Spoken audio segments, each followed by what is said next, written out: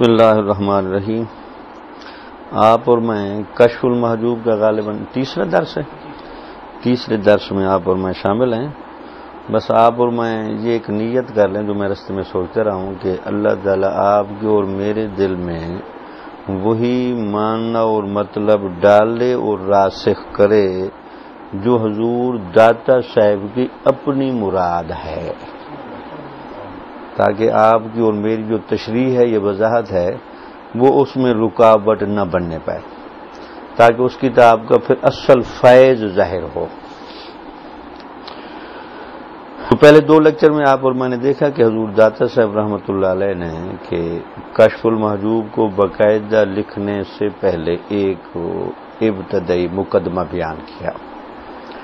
اور پھر ایک سائل نے جو سوالات آپ سے پوچھے تھے، ان سوالات کا بھی آپ نے بڑی خوبصورتی سے تذکرہ کیا۔ اب جواب آپ شروع کر رہے ہیں۔ بھائی وہ کیا سوالات تھے؟ اور ویسے تصوف کی کیا حقیقت ہے؟ تو آپ ترتیب وار انشاءاللہ اس کے بارے میں ایک بحث کریں گے اور اس کا ذکر کریں گے۔ اچھا داتا صاحب کا ہر جملہ بڑے غور سے سننے والا ہے اور وہ اپنا معنی دینے میں تشریحی کا محتاج نہیں۔ اس لیے آپ کا اور میرا پیٹرن، پہلے تو یہی ہوگا کہ حضور داتا صاحب کے جملے کو دو یا تین دفعہ پڑھ کر اسی سے مفہوم اخذ کر لیں۔ ہاں اگر کسی جگہ کنیکٹ کرنے میں یا ربط میں کہیں آپ اور میں تنگی فیل کریں تو پھر آپ اور میں اس کو بہم جو کچھ سمجھتے ہیں اس کو رب دیں گے کہ حضور دادا صاحب رحمت اللہ علیہ کیا کہتے ہیں۔ آپ کے جملے سنیں۔ اے طالب حق، تمہیں معلوم ہونا چاہیے کہ ہمارے زمانے میں خاص کر اس علاقے کے لوگ در حقیقت علم طریقت سے دور ہو کر ہوا و حوث میں گرفتار ہو چکے ہیں۔ اب ذرا تصوف کی ڈیٹیل یا تفصیل کو بیان کرنے سے پہلے آپ جو کچھ زمانے میں ہو رہا ہے، تو آپ خوبصورت جملہ بول رہے ہیں۔ میں دوبارہ اس کو پڑھتا ہوں۔ اے طالب حق، تمہیں معلوم ہونا چاہیے کہ ہمارے زمانے میں خاص کر اس علاقے کے لوگ در حقیقت علم طریقت سے دور ہو کر ہوا و حوث میں گرفتار ہو چکے ہیں۔ اچھا زیادہ محققین کا خیال یہ کہ حضور دادا صاحب نے یہ کتاب وہاں لکھی ہے جب آپ اپنے علاقے میں تھے۔ تو یہاں آنے سے پہلے کی کتاب ہے۔ لیکن بہرحال ایک تاریخی بات ہے۔ کوئی سے انکار کرنا چاہے تو حرج نہیں۔ لیکن بہرحال عبارت سے پتہ چل رہا ہے کہ آپ کہہ رہے ہیں کہ میں خود جس علاقے کا رہنے والا ہوں، اس علاقے میں لوگ تصوف سے دور ہو چکے ہیں۔ اور تصوف کی جگہ کس چیز نے ڈیرا ڈال لیا؟ ہوا و حوث. یعنی خواہشات بہت زیادہ ہیں اور مال و دولت کی لالچ زیادہ بڑھ گئی ہے۔ دوسرا کہتے جی رضائے الہی سے کنارہ کش ہو کر علماء حق کے طریقے سے بھٹک چکے ہیں۔ اب آپ کتنا خوبصورت جملہ ہے کہ علماء حق کا تو اصل مقصد یہی تھا کہ رضائے الہی کا رستہ دکھانا۔ تو اس کا مطلب کہ ہمارے علماء حق کے پیش نظر ہمیشہ مقصد کے باب میں جو چیز سب سے اعلی و افضل رہی ہے، وہ رضائے الہی کا حصول ہے۔ اچھا اب داتا صاحب کا ایک اپنا سلوب ہے۔ اب وہ کہتے بات ہیں، لیکن وہ اپنا بھی نقطۂ نظر بیان کر دیتے ہیں۔ تو اولیاء کی ایک بحث آپ کریں گے کہ اولیاء کے نزدیک آخری مقام و مرتبہ ولایت میں کیا ہے۔ تو یہاں داتا صاحب اشارہ دے رہے ہیں کہ آخری مقام و مرتبہ اولیاء کا رضائے الہی کا حصول ہے۔ جی؟ آپ کہتے ہیں رضاء الہی سے کنارہ کش ہو کر علماء حق کے طریقے سے بھٹک چکے ہیں۔ آج جو لوگ طریقت و تصوف کے مدعی نظر بھی آتے ہیں، تو وہ در حقیقت اصل طریقت کے برخلاف عمل کرتے اور طریقت کو بدنام کرتے ہیں۔ اب اسے آپ اندازہ لگیں کہ تصوف کس گہرائی کا نام ہے اور تصوف عقائد کی اصلاح میں یا تصوف اعمال و ریاضت کی پابندی کے نام میں یا تقوی اور تہارت کی کتنی اعلی سطح کا نام ہے کہ حضور داتا صاحب کے زمانے میں، پھر بھی آج کی بنسبت لوگ بہت بہتر تھے۔ لیکن حضور داتا صاحب ان پر تبصرہ کرتے ہوئے کہہ رہے ہیں کہ آج کے زمانے میں جو لوگ طریقت یا تصوف کا نام لے رہے ہیں، دعوی کر رہے ہیں، ان کے پاس بھی اصل تصوف، حقیقت تصوف اور مغز تصوف نظر نہیں آتا۔ اسے آپ انداز رکھیں کہ تصوف کتنی اعلیٰ چیز ہے اور کس سطح کے لوگوں کو صوفی کہنا چاہیے۔ اب یہ دیکھیں نا کہ ہمارے زمانے میں ولایت کے نام پر یا تصوف کے نام پر بھی بہت زیادہ گمراہیاں پھیلائی گئیں۔ اب ہمارے علماء نے یا صوفیہ نے یا ویسے ماحول کے تقاضے ایسے ہو گئے کہ اس جگہ پر بند نہیں باندھا گیا۔ اب تو ہر گلی محلے میں جو بندہ پیر بننا چاہے، صوفی بننا چاہے، ولی بننا چاہے، اس کے لیے کھلی گنجائش ہے۔ تو حضور داتا صاحب کا کہتے تھے کہ وہ کہتے ہم جس زمانے میں تھے اور جو لوگ اپنے آپ کو صوفی کہتے تھے یا تصوف کا دعویٰ کرتے تھے، وہ بھی تصوف کی حقیقت سے آشنا نہیں تھے۔ تو اس کا مطلب کہ تصوف کی حقیقت کوئی ایسی گہری چیز تو ہے۔ اب چونکہ داتا صاحب کے پیش نظر ذرا اختصار بھی ہے، اب یہ تصوف پر جب آپ بحث کریں گے، وہاں تصوف کی حقیقت بھی بیان کریں گے۔ یہاں تو ذرا پس منظر بتا رہے ہیں، کتاب کو باقاعدہ لکھنے سے پہلے۔ اب جملہ سن لیں۔ ہوا و حوث کا غلبہ، یہ آپ نے عوام کے لیے بتا دیا، عام لوگوں کے لیے۔ اور یہ جو تھے، جو مدعیان تصوف ہیں، اب ان کے بارے میں داتا صاحب کا جملہ سن لیں کہ وہ تصوف کی حقیقت سے آشنا نہیں۔ اب سبق دیتے ہیں، دو باتیں کر کے، بھئی ہوا و حوث کا غلبہ، یا جو لوگ تصوف میں بیٹھے ہیں، وہ تصوف کی حقیقت سے آشنا نہیں۔ آپ کہتے ہیں، لہذا ایسی استعداد و صلاحیت پیدا کرنے کی ضرورت ہے کہ اس مقام تک رسائی حاصل ہو جائے، جہاں تک اہل زمانہ کی دسترس نہیں ہے۔ اب پھر یہاں آپ دعوت دے رہے ہیں ان لوگوں کو جن کا تصوف کی طرف آنے کا پروگرام ہے، یا تصوف کے مغز تک یا اس کی حقیقت تک پکڑنا چاہتے ہیں، وہ کہتے ہیں مجھے ایسے لوگوں کو میں دعوت دیتا ہوں کہ پھر آپ صرف مدعیان تصوف جو کچھ کہہ رہے ہیں، آپ وہاں نہ رکیں، بلکہ اس سے آگے بڑھیں۔ پھر جہاں تصوف کا اصل مغز پڑا ہے، اس جگہ کو گرپ میں لیں۔ تو اس کا مطلب کہ داتا صاحب کا یہ جملہ آپ کے لیے اور میرے لیے سبق دے رہا ہے کہ تو داتا صاحب بھی اشارہ کر رہے ہیں کہ اصل تو بات ہوتی ہے عقیدے کی اصلاح یا عبادت اور تقوا میں صحیح محنت اور مرشد کی اتباع کہہ لیں یا اس کی رہنمائی میں چلنا، تو پھر بندہ سفر کرے جتنا جا سکتا ہے تاکہ تصوف کی حقیقت تک وہ پکڑ سکے۔ لہذا ایسی استعداد و صلاحیت پیدا کرنے کی ضرورت ہے کہ اس مقام تک رسائی حاصل ہو جائے، جہاں تک اہل زمانہ کی دسترس نہیں ہے، اور اس مقام پر وہی حضرات فیض ہوتے ہیں جو خاصان بار گاہ حق ہیں۔ یعنی پھر اللہ تعالیٰ کے جو خاص بندے ہیں، وہ پھر ایسی محنت بھی کرتے ہیں اور ان مقامات تک پہنچتے ہیں۔ اور تمام ارادت مندوں کی وہی مقصود و مراد رہی ہے۔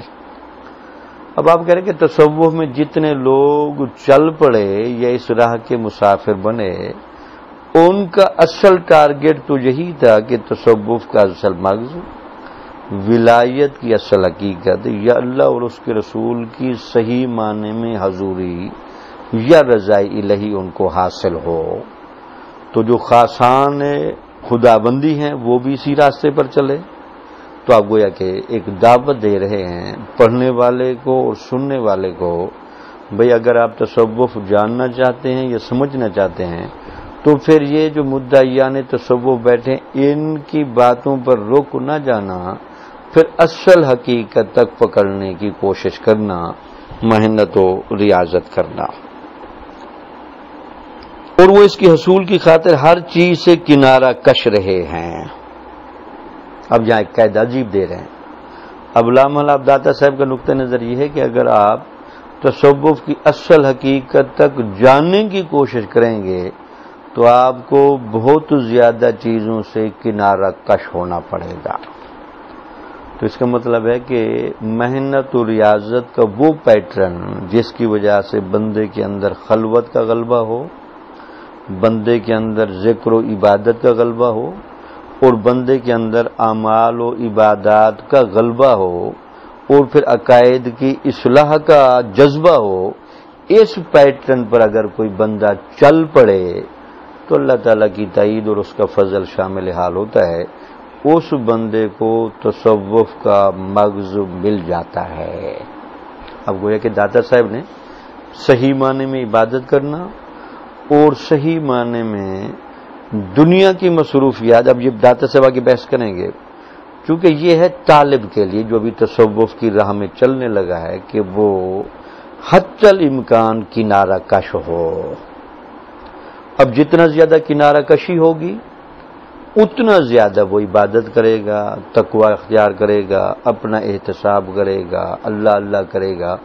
اب وہ جیسے اس کام میں مزید محنت ہوتی جائے گی، تو آہستہ آہستہ اس رستے کی راز یا اس کا جو ایک پروگرام ہے پورا اللہ کی طرف سے، وہ اس بندے پر منکشف ہوگا۔ اس کے بعد کہتے ہیں کہ، اور وہ اس کے حصول کی خاطر ہر چیز سے کنارہ کش رہے ہیں۔ جس طرح کے اہل معرفت وجود حق کی معرفت میں ہما خاص و عام مخلوق سے بے نیاز رہے تھے۔ اب حضور داتا صاحب ذرا ارادت مندوں کی بات کہتے ہوئے پھر اہل معرفت سے ایک کمپیریزن کر رہے ہیں۔ کہتے ہیں جو ارادت مند تھے، جو تصوف کی حقیقت تک جانا چاہتے تھے، ان کے لیے بھی اتنی خلوت نشینی ضروری ہے اور ہر چیز سے کنارہ کش ہو جانا ضروری ہے۔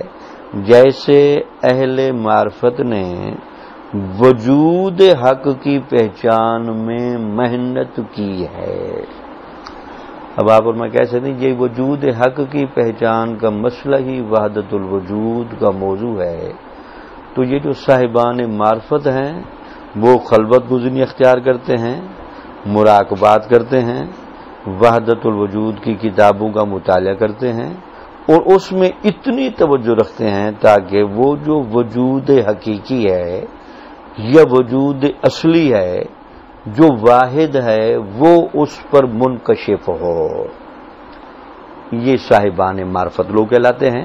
تو پھر آپ کہہ رہے ہیں کہ جس طرح صاحبان معرفت لوگوں نے وجود حق کی محنت میں اتنی کنارہ کشی کی، محنت کی، عبادت کی اور جتنا ممکن حد تک کوشش ہو سکتی تھی کی، تو ویسے وہ مریدین یا اللہ تعالی کی بارگاہ کے خاص لوگ وہ تصوف کی حقیقت پر آنے کی کوشش کرتے ہیں۔ آپ میں سمجھ سکتے ہیں کہ شاید دادا صاحب یہاں تصوف کے دو پیٹرن بیان کر رہے ہیں۔ ایک پیٹرن ہے اہل معرفت کا اور ایک پیٹرن ہے عمومی۔ تو عام پر فائز ہونے کے لیے آپ اور میں ہر بندہ مکلف ہے۔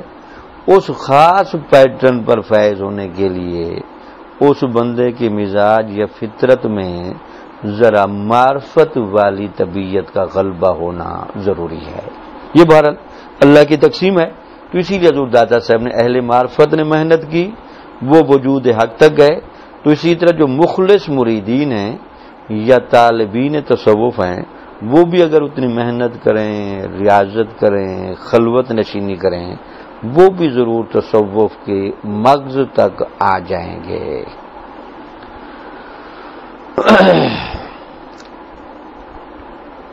اچھا اس کے بعد آپ لکھتے ہیں جی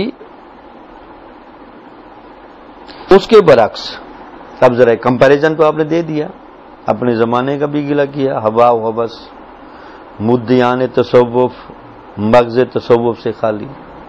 پھر اس کے بعد پھر آپ نے قاعدہ بھی بتایا کہ نہیں، اہل معرفت بھی گزرے ہیں، اب بھی ہیں ان کے زمانے میں، لیکن چند ہیں۔ تو اس وجہ سے پھر آپ نے عمومی گلا بھی ضرور کیا، لیکن کچھ لوگوں کی نشاندہی بھی کی اور وہ پیٹرن بھی بیان کیا کہ جس پیٹرن پر آ کر ایک بندہ تصوف کی حقیقت تک جا سکتا ہے۔ اچھا لیکن چونکہ داتا صاحب کو منظور یہ ہے کہ میں تصوف کی حقیقت یا آگے گہرے اصول بیان کرنے سے پہلے ذرا زمانے والوں کی خبر لوں تاکہ جن لوگوں کی وجہ سے تصوف خراب ہوا یا جو لوگ تصوف سے براہ راست تو تعلق نہیں رکھتے تھے، لیکن تصوف کے اثرات ان پر نہیں تھے، تو آپ پھر دوبارہ ان کی بات کر رہے ہیں کہ وہ کیا کرتے رہے۔ جملہ بولتے ہیں، اس کے برعکس ان ظاہری مدعیان تصوم نے صرف ظاہری عبارتوں پر اکتفاق کر رکھا ہے۔ اب ان کی ذرا علامتیں بتا رہے ہیں۔ اب وہ سکتے داتا صاحب کیونکہ حقیقت پسند بھی ہیں، محقق مزاج بھی ہیں۔ یہ اس کتاب کی میں نے جو بنیادی خوبی دیکھی ہے نا، یہ کتاب کوئی چیز تشنا نہیں چھوڑتی۔ بشرطے کہ آپ اور میں اس کتاب کی گہرائی میں اتریں۔ اور ایک ایک جملہ رک رک کر سمجھ سمجھ کر پڑھیں، تو یہ کتاب اپنی حقیقت بیان کرنے میں یا اپنی بات سمجھانے میں زیادہ شرح کی محتاج نہیں، چونکہ داتا صاحب ہر بات خود کرتے ہیں۔ ہاں یہ ایک الگ بات ہے کہ چونکہ آپ کے پیش نظر اختصار ہے، قاعدے اور اصول کا اشارہ دے دیں گے کہ ہمارے نزدیک قاعدہ اور اصول تو ہے یہ۔ اب پھر مدعیا نے تصوف جب ان سے پوچھا گیا کہ آپ کیسے کہتے ہیں جی آپ کے زمانے میں جو مدعیا نے تصوف ہیں یہ ناقص ہیں یا تصوف کی حقیقت تک ان کی رسائی نہیں۔ اب اس کے بارے میں جملہ داتا صاحب کو سنیں۔ کہتے ہیں اس کے برعکس، ان ظاہری مدعیان تصوف نے صرف ظاہری عبارتوں پر اکتفاق کر رکھا ہے۔ تصوف کی عبارتیں بڑی بیان کریں گے۔ گفتگو صوفیانہ کریں گے۔ تو اشارہ یہ ہے کہ ظاہری طور پر تو گفتگو کر سکتے ہیں۔ ہو سکتا ہے آپ اور میں بھی اصلاً ان لوگوں میں شامل ہوتے ہیں جو ظاہراً تو تصوف کی باتیں کر سکتے ہیں، لیکن اندر سے دماغ کا، دل کا یا روح کا صحیح طور پر ولایت سے وابستہ ہونا شاید آپ کے اور میرے ہاں بھی نہیں ہے۔ تو اس کی داتا صاحب کہہ رہے ہیں کہ ہمارے زمانے میں جو لوگ ہیں، وہ ظاہری طور پر تو تصوف کی جب باتیں کرتے ہیں، عبارتیں بڑی پڑھتے ہیں اور عبارتوں کے ہی چکر میں بیٹھے رہتے ہیں تاکہ یہ دیکھیں، تاکہ عام بندہ تو اب یہی سمجھتا ہے جی بندے کے دل و دماغ یا روح کی کیفیت کو کون کھول کر پڑے تو داتا صاحب کہتے ہیں، یہ تو ہے ان کا دکان کو رچانے کا طریقہ۔ لیکن آپ اور میں داتا صاحب سے التجا کرتے ہیں کہ ہم اس لیے نہیں پڑھ رہے ہم تو آپ کی بارگاہ میں بھی ملتجی ہیں۔ اب آپ سے تو بڑا بلی شاید برے صغیر کی حدود میں کوئی نہ ہو، تو آپ کی ہمیں روحانی توجہ چاہیے۔ ہم تو صحیح معنی میں اس کتاب کے اصل مغز کو پکڑنے اور سمجھنے کی کوشش کر رہے ہیں اور اسی مقصد کے لیے یہ پروگرام شروع کیا گیا ہے۔ اللہ تعالیٰ آپ کو اور مجھے تو وہ داتا سے بات سمجھا رہے ہیں۔ کہتے ہیں کہ اس کے برعکس ان ظاہری مدعیان تصوب نے صرف ظاہری عبارتوں پر اکتفا کر رکھا ہے اور دل و جان سے حجاب کے خریدار بن کر اور تحقیق کی راہ چھوڑ کر اندھی تقلید کے خوگر بن گئے ہیں۔ داتا صاحب نے بڑی دو گہری باتیں کی ہیں۔ ایک تو کہتے ہیں کہ یہ جو ہیں مدعیان تصوف ظاہری طور پر جو عبارتوں پر ہی اکتفاق کرتے عبارتیں ہی پڑھتے ہیں۔ ان کے باطن کی کیا کیفیت اندر کی؟ یہ دل و جان سے حجاب کے خریدار ہیں۔ ان کا دل پڑھ لیں، دماغ پڑھ لیں، روح کی کیفیت پڑھ لیں، تو وہاں آپ کو یہ تین چیزیں نظر آئیں گی۔ یا حب مال، یا حب شاوات یا حب انا۔ یا یہ انا کے مریض ہیں، یا یہ مال و دولت کی کثرت چاہتے ہیں، یا حسن و جمال جو انسان کو بد اخلاقی کی طرف لے جاتا ہے، یہ چاہتے ہیں۔ اب یہ داتا صاحب کے جملے ہیں۔ تو اس کا مطلب ہے کہ اس قاعدے کو اگر آپ اور میں آج کے زمانے پر اپلائی کریں، تو کتنے مدعیان تصوف ہیں جن پر یہ قاعدہ سو فیصد فٹ ہوتا ہے۔ جی؟ اس کے بعد دل و جان سے حجاب کے خریدار بن کر اور تحقیق کی راہ کو چھوڑ کر اندھی تقلید کے خوگر بن گئے ہیں۔ اچھا اس میں داتا صاحب نے بڑا گہرا اشارہ کیا ہے۔ اچھا بہت سارے مسائل خراب ہو رہے ہیں پیر کے ناک کے سونے کی وجہ سے۔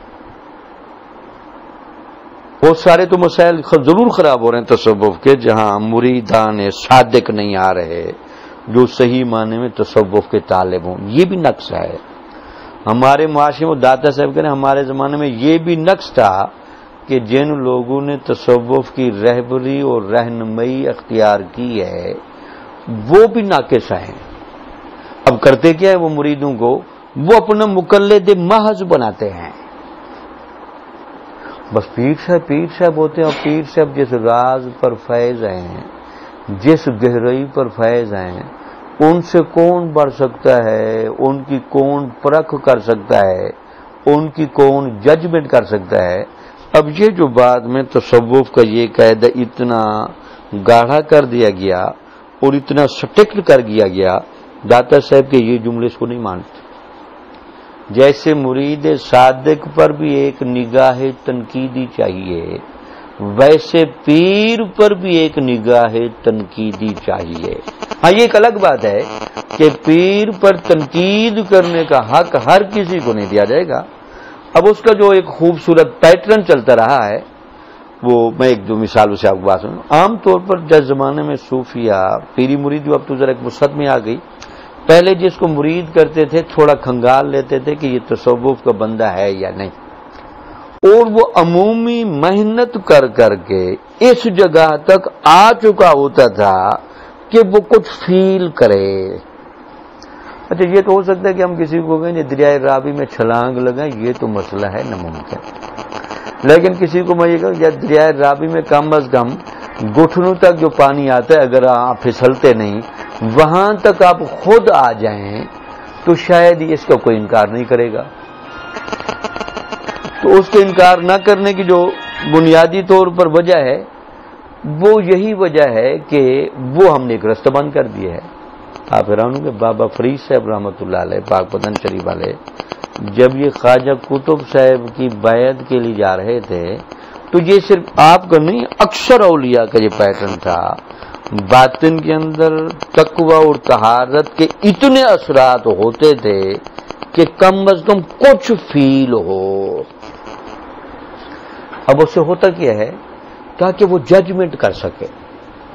اب ہو سکتا ہے جیسے آپ اور میں مثال سمجھانے کے لیے یا ہم دس بندوں سے کشف الموجود کا درج کروائیں۔ تو آپ کو یہ حق دینا چاہیے کہ آپ کومنٹس کر سکتے ہیں کہ نہیں یار، فلاں سے پڑھوائیں، فلاں سے نہ پڑھوائیں، فلاں زیادہ بریک بین ہے، فلاں بات پر گرپ کرتا ہے، فلاں ایزی لے کر نکل جاتا ہے، وہ مضمون میں نہ خود اترتا ہے۔ نہ اتارتا ہے۔ وہ کیوں ایسا ہوا؟ کیونکہ آپ کا ایک لیول ہے۔ پہلے زمانے میں یہی پریکٹس تھی۔ داتا صاحب اسی کی بات کر رہے ہیں کہ جو طالبان تصوم، وہ جب کسی پیر کے پاس جائیں تو پہلے تھوڑا سا برتن اس حد تک جتنا بندہ خود پالش کر سکتا ہے، نمازوں کی پابندی ہے، صحیح عقیدہ ہے، تھوڑا سا تکوا تاکہ وہ مختلف پیروں کی صحبت میں بیٹھ کر خوشبو فیل کر سکے۔ یار نہیں، میں دریائے راوی پر گیا ہوں، وہاں تو فضا اس طرح کی آتی ہے۔ میں دریائے چناب پر گیا ہوں، وہاں فضا ایسی ہے۔ میں دریائے جہلم پر گیا ہوں، وہاں فضا ایسی ہے۔ تاکہ وہ تھوڑی سی جب یہ ایڈجسٹمنٹ کرے گا، ان چیزوں کو سمجھے گا، تو پھر وہ تھوڑا سا اختیار رکھتا ہے کہ یار نہیں، مجھے فلاں کے پاس آنا چاہیے، جانا چاہیے، کیونکہ اس کے پاس فیض زیادہ ہے۔ یہ اصلاً قاعدہ تھا تصوف میں۔ اب اتفاق کیا ہوا؟ بس جس طرح بہت سی اور دیگر جہالتیں شامل ہوئیں، تصوف میں ایک جہالت یہ شامل ہو گئی کہ پیر پر چیک اینڈ بیلنس رکھنے کا اختیار بالکل ہی چھین لیا گیا اور پیر کامل جو ہو، اس کا تو پھر لامالا بڑی عزت و احترام ہے۔ وہاں تو تنقید کرنے کی اجازت نہیں، لیکن بہرحال جب کالی بھیڑیں آ جاتی ہیں تو پھر جب آپ تنقید کی بالکل نفی کر دیں گے، تو ان کو موقع ملتا ہے۔ انہوں نے بھی کہنے جی مرشد کے سامنے تو پہلا ادب یہ ہے کہ آپ آنکھیں بند کر کے بیٹھیں۔ وہ جو کچھ کہہ رہا ہے، شریعت کے خلاف ہے، بالکل مخالف ہے قرآن حدیث کے، یا تصوف کی اصل کتابوں کے خلاف ہے۔ آپ نہ وہاں بات کر سکتے ہیں، نہ سوچ سکتے ہیں۔ اب داتا صاحب کے یہ جملے آپ اور میں نے یاد رکھنے ہیں جن لوگوں کا یہ خیال ہے کہ داتا صاحب کے ذرا ان جملوں کا مطلب تو کر دیں۔ اب میں جملہ سنا تو غور کریں۔ آپ کہتے ہیں کہ یہ جو مدعا تصوف بیٹھے جو صرف تصوف کی زہری عبارتیں پڑھ رہے ہیں۔ ایک تو یہ بات، اندر کچھ نہیں، عبارتیں پڑھتے ہیں، رٹا لگایا ہوا ہے۔ ہو سکتا ہے میرے جیسے بندہ کشف الماجوب کا درس دیتا ہے، کوئی مولانا روم کا درس دے رہا ہے، کوئی ابن عربی کا درس دے رہا ہے۔ اب یہ منع نہیں، لیکن اس سے کوئی یہ سمجھے کہ اس طرح کا کام کرنے والا بندہ بھی اندر سے بھی اسی طرح بھرا بیٹھا ہے، تو داتا سے کہتے ہیں اندر سے بھرنا اور چیز ہے، ظاہری طور پر عبارتیں بیان کرنا اور چیز ہے۔ بہرحال کوئی اگر ظاہری عبارتوں میں اسی طرح رہے، جس طرح آپ اور میں اس پیٹرن پر رہیں کہ ہمیشہ ہم داتا صاحب کے سامنے ملتجی اور طالب بن کر رہیں حضور آپ نے جو کچھ لکھا ہے، اس میں کچھ ہے تو صحیح۔ اب ہماری عقل ناقص ہے، ہم اس لائق نہیں۔ تو آپ کی کرم چاہیے، ہمیں بھی مطلب ملتا جائے، اندر کی روشنی ملے۔ اب داتا صاحب جملہ سن لیں۔ اب کہتے ہیں، دل و جان سے حجاب کے خریدار۔ ایک تو یہ رکاوٹ۔ اس کے بعد کیا کہتے ہیں؟ اور تحقیق کی راہ کو چھوڑ کر اندھی تقلید کے خوگر بن گئے۔ اب یہاں آپ ان کو ہٹ کر رہے ہیں کہ ہوا کیا؟ بس اوپر بھی ناقص تھے، وہ ناقصوں کے پیچھے کھڑے ہو گئے۔ ان سے اوپر ناقص تھے۔ پھر کیا تھا؟ تحقیق کی راہ کیا تھی؟ بھی خود عبادت کریں، خود تقوا اختیار کریں، اور مرشے تلاش کریں۔ ذرا بھاگے دوڑیں، ذرا کوشش کریں۔ یہ تقلید کی جگہ پر اندھے ہو کر نہ کھڑے ہو جائیں۔ اب یہ دیکھیں، دو مرض بن گئے۔ ایک مرض تو یہ بنا کہ ان کے دل و دماغ میں یہ طلب ہی نہیں کہ اگر ان کے اوپر حجاب آ گیا گناہوں کی وجہ سے، یا ان کے اوپر حجاب آ گیا غفلتوں کی وجہ سے، یا ان کے اوپر حجاب آ گیا ماحول کی وجہ سے۔ ایک تو داتا سب کے تو اس حجاب کو دور کرنے کے حق میں نہیں۔ تو لہٰذا ایک بندہ جب طلب کرے گا، بھاگے گا، روئے گا دوڑے گا تو اللہ بھی دیکھ رہا ہے، اللہ کے رسول بھی دیکھ رہے ہیں اور اولیاء بھی اس بندے کو دیکھ رہے ہیں کہ نہیں، بندہ دل و دماغ سے کتنا صادق ہے۔ تو ہر کوئی ہیلپ دینے کے لیے تیار ہو جائے گا۔ تو اس لیے کہہ رہے ہیں کہ پھر مدد حجاب سے نہ ملی، رکاوٹ خود بن گیا۔ دوسرا یہ تھا کہ ان کی رہبری کرنے والے بھی ناقص بیٹھے تھے۔ اب ان کی رہبری میں ان کی چھتری کے نیچے بیٹھ گیا۔ اب دو رکاوٹیں کھڑی ہو گئی ایک خود ناقص ہوا، طالب تصوف نہیں صحیح معنی میں۔ دوسرا، جس کا مرید ہوا پھرتا ہے، وہ بھی اس کو آگے کا راستہ دکھانے کے لیے تیار نہیں۔ چونکہ داتا صاحب بہت گہرے بزرگ ہیں، اب بجائے اس کے کہ آپ ذرا بات کو واضح انداز میں کرتے، تو چونکہ آپ کو پتا کہ تصووں میں ایک لحاظ، ایک ادب بڑا ضروری ہوتا ہے تو مرشد کی آپ تعریف بھی بڑی کرتے ہیں۔ مرشد کا ادب بھی ضرور ہے۔ مرشد کے حقوق بھی ضروری ہیں۔ لیکن داتا صاحب نے وہاں یہ بند بھی باندھا ہے کہ اگر کہیں ناقص مرشد آ کر بیٹھ جائے، پھر اس کی تقلید نئی تحقیق کرنی ہے۔ یہ وہ جگہ ہے جو ہمارے علماء نے، صوفیاء نے ممبر و محراب پر ڈسکشن کرنا شروع کی۔ تو ایک چھتری ہم نے دے دی ہر بندے کے لیے۔ اب جس نے اپنے آپ کو پیر کہہ دیا، مرشد کہہ دیا، وہ گویا کہ ایسی مقدس گائے بن گیا کہ اب اس کے سامنے نہ بات ہو سکتی ہے، نہ گفتگو ہو سکتی ہے، نہ ڈسکشن ہو سکتی ہے۔ تو حضور داتا سے فرما رہے ہیں کہ اگر ایسا زمانہ ہو اور آج کے زمانے میں تو زیادہ زمانہ ہے، تو وہاں تقلید نہیں، تحقیق کی ضرورت ہے۔ اچھا اتفاق چونکہ بات آ گئی، کشکول کلیمی میں بڑی خوبصورت بات لکھی خواجہ کلیم اللہ جہاں آبادی رحمۃ اللہ علیہ ان سے پوچھا گیا کہ برشد کامل کی تلاش کرنے کا کیا طریقہ ہے۔ انہوں نے دو چیزیں لکھی۔ ایک تو کہتے ہیں کہ استخارہ کیا جائے۔ تو استخارہ کے ذریعے اللہ تعالیٰ کی طرف سے خیر طلب کی جائے، تو اللہ تعالیٰ ضرور رحمی فرماتا ہے۔ اس کی شکل، اس کی صورت، اس طرح کا بندہ اس کو مل جائے۔ گا دوسرا یہ ہے کہ اس بندے کو مختلف زندہ مشائق کی صحبت میں جہاں تک ممکن ہو بٹھایا جائے اور وہ ایک انالیسس کرے اور اس میں جس بندے کی صحبت میں اس کو خوشبو زیادہ ہے، اس کو رنگ زیادہ ہے اور اس کے دل و دماغ میں تبدیلی کے امکانات نظر آئے ہیں، پھر اس کو فوراً مرشد پکڑ لینا چاہیے۔ تو اب تو پھر وہ خاندانی مرشد ہوتے ہیں نا جی وہ دادے پر دادے سے آ رہے ہیں۔ اب اس میں کوئی شک نہیں، اگر خاندانی مرشد ہوں اور وہ اسی پیٹرن پر ہوں تو پھر ان سے نکلنے کی بھی ضرورت نہیں۔ لیکن اگر اس پیٹرن پر نہ ہوں تو ان سے پھر جان چھڑانے کی بھی ضرورت ہے۔ بر حضور داتا صاحب کا سلوک چونکہ جامع ہے، تو آپ ہر محاذ کو کور کرتے ہیں۔ جہاں مرشد کامل ہے، اس کا بڑا دب ہے۔ جہاں مرشد ناقص ہے تو وہاں تقلید نہیں، تحقیق کی ضرورت ہے۔ تو دیکھیں۔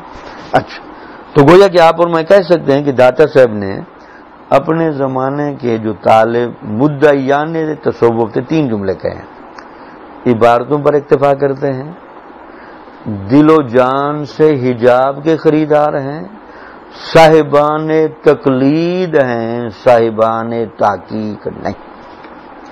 یہ تین وہ مرض ہیں جن کا داتا صاحب کہہ رہے ہیں کہ ہمارے زمانے میں وہ چھا گئی اور اس کی وجہ سے تصوف کی حقیقت نکل گئی۔ اور لوگ جو تصوف کے طالب تھے، اب دکان میں جو سودا مل رہا ہو، اب عوام نے تو وہی سودا لینا ہے۔ تو یہ سودا دینے والے لوگ دکانیں کھول کر بیٹھ آگے دیکھیں۔ یہی وجہ ہے کہ تحقیق نے بھی اپنا چہرہ ان مدعیان ظاہری سے چھپا لیا ہے۔ الگ الگ آپ کہنے ہوا پھر کیا؟ جب یہ پیٹرن بن گیا، تو جملہ دیکھیں بڑا خوبصورت داتا صاحب کا۔ یہی وجہ ہے کہ تحقیق نے بھی اپنا چہرہ ان مدعیان ظاہری سے چھپا لیا ہے۔ اب اس کے دو مطلب ہو سکتے ہیں۔ یا تو یہ کہ تحقیق سے مراد آپ کے نزدیک جو صحیح اولیاء حق تھے، ان کو ذرا چھپ کر زندگی گزارنی پڑی۔ کیونکہ جب مارکیٹ میں ایسا دو نمبر سودا زیادہ بکنے لگا، تو اصل سودے کی قدر جب ختم ہونے لگی، تو اولیاء جو بعض اوقات چھپتے ہیں، ایک تو داتا صاحب ان کا اشارہ کر رہے ہیں، یا پھر داتا صاحب کے جملے کا مطلب یہ تھا کہ جب اللہ تعالی نے اپنی شان کے لائق دیکھا کہ نہیں، جو بھی تصوف کی طرف آ رہا ہے، اس کا ابتدائی جذبہ تو ٹھیک ہے لیکن وہ ان ظاہری دکانداروں سے ہٹنا نہیں چاہتا، وہ اس مغز میں نہیں گھسنا چاہتا، وہ صاحب تحقیق نہیں بننا چاہتا، تو اللہ تعالیٰ نے بھی اس کی توجہ میں کمی کر دی۔ وہ آخرکار اسی موجود مارکیٹ کے مواد پر کھڑا ہو گیا اور اصل جو طالب تصوف بن کر آیا تھا، اس کا وہ جذبہ ماند پڑ گیا اور تحقیق اس سے چھپا دی گئی۔ اس کے بعد آپ کہتے ہیں جی اور عوام اپنی موجودہ حالت میں مگن رہ کر کہہ رہے ہیں کہ ہم نے حق کو پہچان لیا ہے۔ اب لام جب مدعا یعنی تصوف کی یہ کیفیت ہے داتا صاحب کے نزدیک، تو عوام تو ویسے کلا نام ہوتے، جانوروں کی طرح ہوتے ہیں۔ تو عوام نے تو جب ان کو لکھا مدعا یعنی تصوف کو، تو ان کا یار ہماری حالت تو ان سے کافی ملتی جلتی ہے۔ جو ان کی چیزیں سامنے آ رہے ہیں جی پیسے بڑے کٹھے کرتے ہیں۔ انا کے مریض ہیں، عزت کا بڑا اہتمام کرتے ہیں، یا اس کے علاوہ وہ حب شہباد کے بھی کچھ مظاہر ہیں۔ تو ان کا یار، اس کا مطلب کہ ہم بھی تھوڑے تصوف کے قریب قریب ہیں، چونکہ فلاں جو حضرت صاحب ہیں، وہ بھی تصوف والے ہیں اور ان کے ہاں بھی اسی طرح کے کام ہیں۔ تو میرا اور ان کا تو زیادہ غائب ہے ہی نہیں۔ عوام تو کہتے ہیں حضور داتا صاحب، عوام اپنی موجودہ حالت میں مگن رہ کر کہہ رہے ہیں کہ ہم نے حق کو پہچان لیا ہے اور خواص اسی میں خوش ہیں کہ ہمارے دل میں اس کی تمنا موجود ہے اور ہمارے نفس میں اس کی احتیاط اور سینوں میں اس کی محبت پائی جاتی ہے۔ اب داتا صاحب کہنے چلو، کچھ لوگ ہیں اچھے۔ اب ان کی عجیب پرابلم دیکھیں۔ داتا صاحب کتنا خوبصورت کہہ دیتے ہیں دل میں تمنا ہے، بدل جائیں۔ اسی طرح نفس میں بھی یہ خواہش ہے، ضرورت فیل کرتے ہیں یا بدلیں۔ سینوں میں بھی تھوڑی سی محبت ہے اللہ اور اس کے رسول کی، لیکن بدلتے نہیں۔ بس انہوں نے اتنی تھوڑی سی محبت کا ہونا، اتنی تمنا کا ہونا، یا نفس کا اصلاح کے باب میں تھوڑی سی ضرورت فیل کرنے کو سمجھ لیا ہے کہ شاید اسی کا نام تصوف ہے۔ تو داتا صاحب کہتے ہیں، اس کا نام تو تصوف نہیں تھا، یہ تو ایک تمنا کی جگہ ہے، محبت کی جگہ ہے۔ یہ ایک ضرورت کا احساس ہے، آگے تو اس رستے پر چلنا ہے، وہ محنت کرنی ہے، وہ تمام ذرائع اختیار کرنے ہیں، جن کی بنیاد پر انسان داخل کے باب میں یا باطن کے باب میں باقاعدہ بدلتا چلا جائے۔ حواس اس میں خوش ہیں کہ ہمارے دل میں اس کی تمنا موجود ہے اور ہمارے نفس میں اس کی احتیاط اور سینوں میں اس کی محبت پائی جاتی ہے۔ اپنے اپنے مشاغل میں منہمک رہتے ہوئے کہتے ہیں کہ یہ سب رویت الہی کے شوق میں ہے۔ اگلا جملہ سنیں۔ جب ان سے پوچھا جاتا ہے، یار، پھر تمنا بھی ہے، حاجت بھی سمجھتے ہو، دل میں تھوڑی محبت بھی ہے اللہ اور اس کے رسول کی اور دین کی، پھر اس جگہ پر آتے کیوں نہیں؟ وہ کام کیوں نہیں کرتے؟ اس پیٹرن پر ڈھلتے کیوں نہیں؟ اور محنت کیوں نہیں کرتے؟ داتا صاحب کہتے ہیں، وہ کہتے ہیں، جناب ہمارے مشاغل بہت زیادہ ہیں، مصروفیت زیادہ ہے۔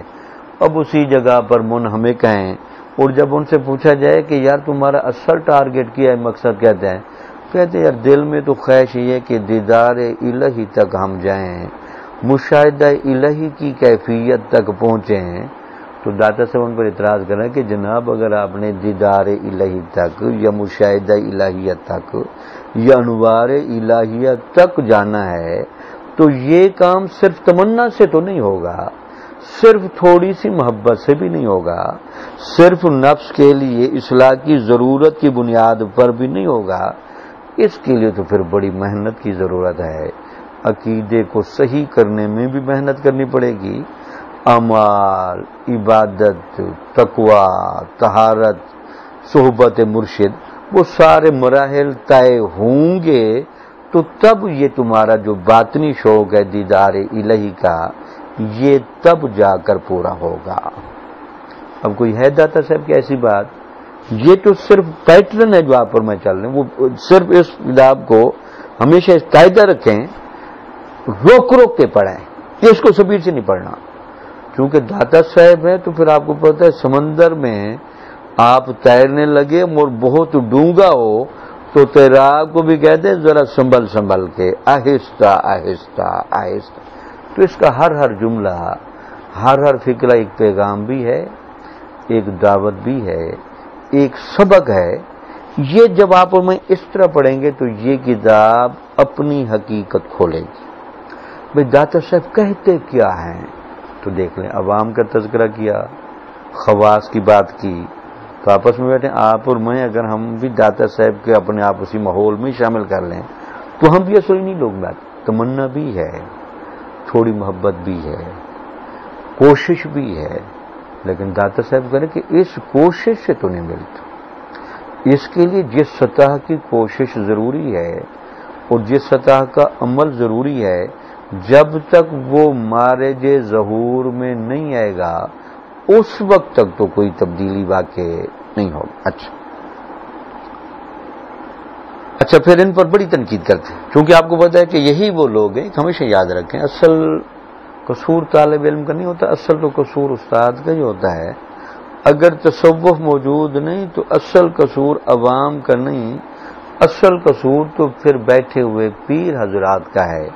جنہوں نے یہ دکانیں سجائی ہوئی ہیں، تو حضور داتا صاحب اسی لیے ان کی بہت زیادہ خبر لے رہے ہیں اور اس قاعدے کا اشارہ کر رہے ہیں کہ عوام کو کچھ نہ کہیں، یہ اصلاً تصوف کا بگاڑ ہمیشہ پیروں سے ہوا، عوام سے نہیں ہوا۔ عوام تو ایک اتباع کرنے والے لوگ ہیں۔ جب ایک مارکیٹ میں سودا خالص بہت کم دکانوں پر پڑا ہے اور ان کی وہاں تک رسائی نہیں تو اس نے تو گلی محلے یا مسجد کا ایک مولوی صاحب سے جو پیر بنا ہوا ہے، اسی سے دم ضرور کا مسئلہ اس نے کرانا ہے۔ اس کو جن چیزوں کی ضرورت، وہ تو اسی سے حل کرائے گا۔ آگے دیکھ۔ اچھا کہتے ہیں اپنے اپنے مشاغل میں منہمک رہتے ہوئے کہتے ہیں کہ یہ سب رویت الہی کے شوق میں اور دل میں جو اچھی خواہشات ابھرتی ہیں، وہ محبت الہی کی تپیشہ ہے۔ اب ذرا دیکھ لیں تاتا صاحب کے جملے۔ کیوں؟ ایک بندہ جب صحیح بن اب دیکھیں نا، ان کا یہ ایک عجیب کیفیت بنتی اب یہ کہہ کہ یہ بندے اصلاً دل میں اچھے ہونے کی تمنا بھی ہے۔ نفس کی اصلاح کی ضرورت بھی فیل کرتے ہیں۔ اس کے علاوہ دل اور دماغ میں تھوڑی سی محبت رسول اور محبت الہی بھی ہے۔ لیکن پیٹرن ایسا ہے۔ اب ہوتا اسے کیا ہے کہ جب بھی کوئی طبیعت میں اس طرح کی چیز پیدا ہو، تپش پیدا ہو، جوش پیدا ہو تو ہم کہتے ہیں جناب طبیعت میں کیوں تپش پیدا ہو گئی، جوش پیدا ہو گیا؟ تو یہ کہتے ہیں یہ ساری محبت الہی کی تپش ہے۔ اب یہاں داتا سے فرما کہ یہ ہوتا پھر کیا ہے؟ اب لامل کیونکہ جب پراپر محنت نہیں ہوگی تو اس میں مکسنگ ہوگی۔ اب دل میں تھوڑی سی محبت الہی بھی ہے، اب تھوڑی سی محبت شہباد بھی مل جائے گی، محبت خواہشات بھی مل جائے گی۔ محبت دنیا بھی مل جائے گی اور یہاں ایک عجیب قسم کا ایک مرکب نما چیز بن جائے گی۔ اب وہ مرکب نما محبت کا جذبہ جب بھی جس چیز کا بھی جوش مارے تو ایک دفعہ بندے کو ہلا تو ضرور دیتا ہے۔ خواب و بعض اوقات عشق مجازی کا جذبہ بھی جوش میں آ جائے تو وہاں بھی لوگ خودکشی تک آ جاتے ہیں۔ تو وہی کہتے ہیں، محبت جب جوش مارتی ہے تو ایسے لوگوں سے پوچھتے ہیں کہ آپ کی طبیعت یکدم جوش میں آ گئی ہے۔ وہ کہتے ہیں خالص اللہ کی محبت ہے دل میں، اسی کا جوش ہے۔ تو داتا صاحب بہن سطور کہہ رہے ہیں، یہ محبت الہی اور محبت رسول نہیں۔ اس محبت الہی اور محبت رسول میں تم نے چونکہ اپنی پراپر اصلاح نہیں کی، اس عبادت اور تقوی اور تہارت کے پیٹرن پر نہیں چلے۔ تو لہٰذا اب تمہاری محبت وہ ہے تو صحیح، جس کی کہتے ہیں میں نفی نہیں کر رہا داتا صاحب، لیکن وہ تمہاری مرکب نفی ہے۔ تو مرکب نفی کی وجہ سے جوش آ رہا ہے۔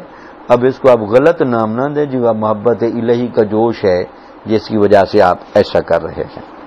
اور دل میں جو بھی خواہشات ابھرتی ہیں، وہ محبت الہی کی تپش ہے۔ اسی طرح مدعیان سلوک اپنے ادعا کے سبب کلیتن محروم ہو گئے ہیں۔ اب ہو سکتا ہے یہ بھی ایک بات داتر سے اشارہ دے رہے ہیں۔ اب کہتے ہیں، ایک تو یہ خامی تھی۔ دوسرا یہ کہتا ہے کہ اس طرح کا بندہ جب اس کی ابھی اصلاح بھی نہیں ہوئی، صحیح بات میں لیکن یہ نہیں ہوتی کہ اندر کوئی اصلاح کا جذبہ نہیں۔ یہ بھی نہیں کہ اندر محبت نہیں۔ اب اندر اس سطح کی چیز نہیں جس سطح کا وہ دعویٰ کرتا ہے۔ اب اگر ایسا بندہ جب بہت زیادہ دعویٰ کر دے اور ہو اس کی محبت مکس قسم کی جیسے میں نے آپ سے عرض کی، وہ کہ جی میں تو محبت الہی میں روتا ہوں۔ شاید این ممکن ہے بعض اوقات آپ اور میں یہ اسی کیٹیگری کے لوگ، ہو سکتا ہے آپ اور میں میں سے کوئی بندہ رو پڑے تو وہ محبت الہی کا عنصر بھی ہوگا۔ لیکن دیگر محبتیں جو وہاں پڑی ہیں، وہ بھی ساتھ اپنا حصہ ڈالیں گی۔ کیونکہ ابھی وہ پراپر اصلاح جب نہیں ہوئی، تو اب داتا صاحب کہنا کہ یہ چونکہ اندر و سطح کا نہیں، پھر یہ جب تصوف کا دعویٰ کرتے ہیں، تو اللہ تعالیٰ ایسے لوگوں کو مکمل طور پر محروم کر دیتا ہے۔ داتا صاحب کا یہ فتویٰ ہے یہ آپ کو اور میرا نہیں، تو اس کا مطلب یہ کہ جب تک ایک بندہ باطن کے اندر کامل اصلاح نہ ہو، اس کو تصوف کا کبھی بھی دعویٰ نہیں کرنا چاہیے۔ اگر وہ تصوف کا دعویٰ کرے گا، تھوڑی بہت محبت ہوئی بھی صحیح، تھوڑی سی نفس کی اصلاح کی ضرورت فیل بھی کرتا ہوا، کیونکہ جب وہ دعوی تصوف کرتا ہے اس معیار پر اس کا باطن نہیں اترتا تو اللہ تعالی سزا کے طور پر اس بندے کو مکمل طور پر محروم کر دیتا ہے۔ داتا صاحب کچھ بچ جاتا بشرطے کہ وہ تصوف کو چلو دعویٰ نہ کرتے، ویسے پھرتے رہتے، کیونکہ ظاہری طور پر وہ تصوف کا دعویٰ کرتے تھے۔ تھوڑی سی محبت الہی بھی تھی۔ جب دعویٰ کیا تو اللہ تعالیٰ نے ان کا نام محرومین میں لکھ دیا۔ اسی طرح مدعیہ نے سلوک اپنے ادعا کے سبب کلیتاً محروم ہو گئے ہیں۔ ارادت مندو نے، جملہ غور سے سنیں۔ ارادت مندو نے ریاضت و مجاہدے سے ہاتھ کھینچ لیا ہے۔ یعنی اس میں کوئی شک نہیں کہ یہ تصوف کا جو باطن کی تبدیلی ہے، یہ تصوف دماغ کو بدلے گا خیالات کے باب میں۔ دل کو بدلتا ہے نیتوں کے باب میں۔ روح کے اندر بڑی گہرائی پیدا کرتا ہے تصوف۔ تو یہ جب تک یہ تین تبدیلیاں نہ ہوں، تو اندر سے تصوف پیدا نہیں ہوتا۔